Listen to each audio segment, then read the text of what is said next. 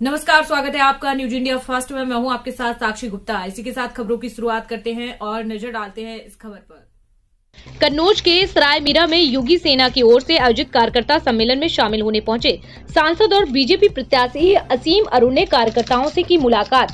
बताते चले, कन्नौज के सराय मीरा में योगी सेना और की ओर से एक कार्यक्रम आयोजन किया गया। इस कार्यक्रम को कार्यकर्ता सम्मेलन का नाम दिया गया था। इस कार्यक्रम का उद्देश्य भारतीय जनता पार्टी को मज़बूत प्रदान करना था।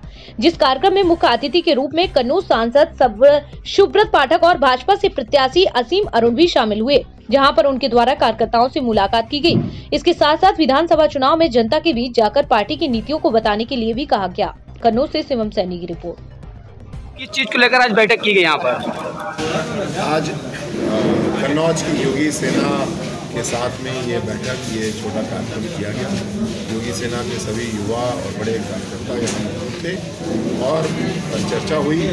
आने वाले समय में किस तरीके से मिल करके अच्छा काम किया जाए नगर को जनपद को विधानसभा को सभी सरकार के जो हैं और सबसे महत्वपूर्ण नागरिक मिल करके किस तरह समन्वय से काम करें और अपने नगर को अपने विधानसभा और जनपद को अच्छा बनाएँ।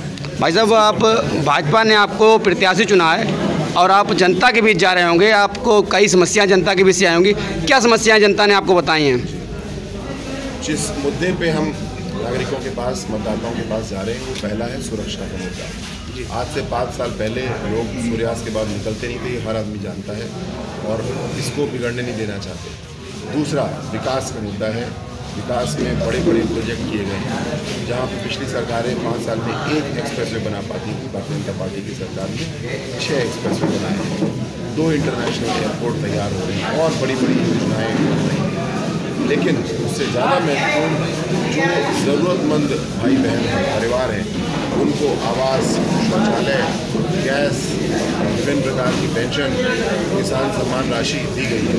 जिससे कि जो ज़रूरतमंद व्यक्ति हैं, उनको सामाजिक सुरक्षा मिली है, उनके विकास का रास्ता खुला है और उनका सम्मान बढ़ा है। ये मुद्दे हैं जिन जो कि भारतीय जनता पार्टी की सरकार की उपलब्धियाँ हैं और जैसा हमारे संकल्प पत्र में है, आने वाले पाँच साल में जो ये ठोस काम किए गए, इसी को आगे बढ़ाया जाएगा।